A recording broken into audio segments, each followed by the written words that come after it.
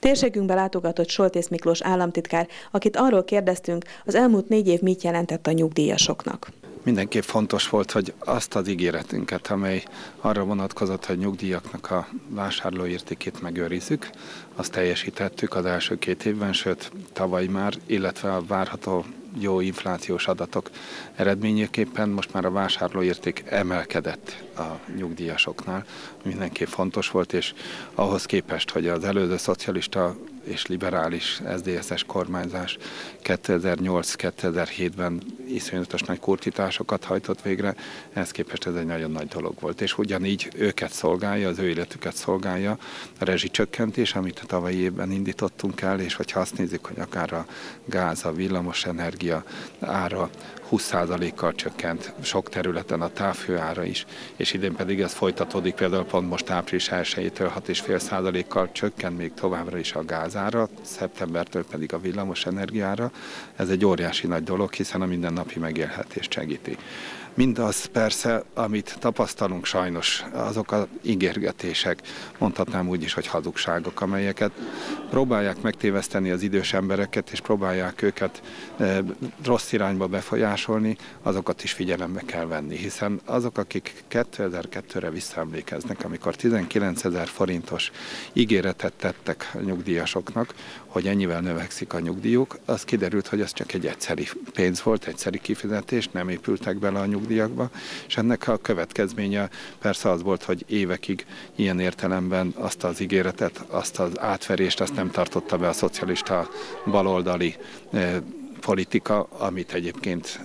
amivel egyébként a választást megnyerték. És most is elhangoznak ilyen ígéretek, ráadásul elhangoznak olyanok, hogy, hogy a magasabb, összeg, magasabb nyugdíjakat a Fidesz-KDNP kormány csökkenteni, vagy, vagy lejjebb venni, egyáltalán nem igaz. Egyet folytatódik továbbra is az a kiszámítható, a jövő szempontjából is kiszámítható és nagyon fontos nyugdíjrendszer, amelyben most benne vagyunk, és teljesen természetes az, hogy azok az emelések, amelyek évről évre megvoltak, és meg is kellene, hogy legyenek, folytatódnak, de mindenféle más ígéret az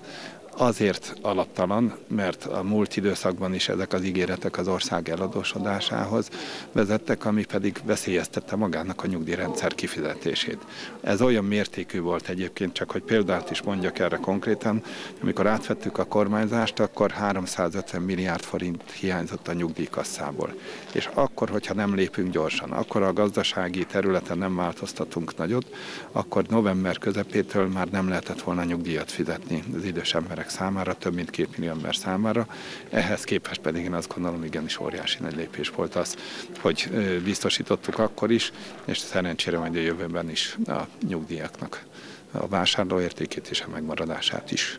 Manapság sokat hallunk a csökkenő inflációról. Mit jelent ez a nyugdíjasoknak? Gyakorlati szempontból érdemes erre odafigyelni, mert sokan Ugye az inflációt azt mondják, ez az államnak, vagy pedig hát a gazdasági szakembereknek a problémája, minket nem érint. De az, aki azért kicsit visszagondol korábbi időszakokra, mindig azt várták, sajnos persze nem egy örömteli várakozás volt az emberek, hogy hogy a, a, az árak vagy január 1-től vagy február 1-től nagy mértékben változnak, és ez vonatkozott az élelmiszer árakra, vonatkozott adott esetben az energia területén és sok minden más területre az árakra, ami annyit jelent, hogy romlik a pénzünk, tehát kevesebb pénz, vagyis az a pénz, amit megkap, megkeresünk, vagy nyugdíjból megkapunk, abból kevesebbet tudunk vásárolni, kevesebbet költeni. És ezért óriási nagy jelentősége az, hogy az infláció most nagyon alacsony, sőt szinte a nullához közelít. Ezért nagy jelentőségű az, hogy a, pénzünk így nem romlik, tehát a vásárlóértéke megmarad a fizetésünknek, illetve a nyugdíjaknak, mert ráadásul a magas infláció leginkább a szegény embereket, az alacsony jövedelmeket, alacsony nyugdíj rendelkezőket sújtja legjobban, mert akinek sok pénze van, pláne olyan, hogy több száz milliót félre tudott tenni, és itt most nem csak arról beszélek, aki osztrák bankokba vitte el szocialistaként a,